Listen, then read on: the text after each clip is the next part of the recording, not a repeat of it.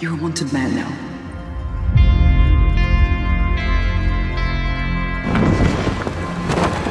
Listen, Luffy. That bounty means so much more than a pointless status. You and your so-called friends better be prepared. With that price on your head, every bounty hunter in the East Blue will be gunning for you. Not just Luffy, they're going to be gunning for all of us. I'll kill the little shit myself. If you don't, I will. You can run.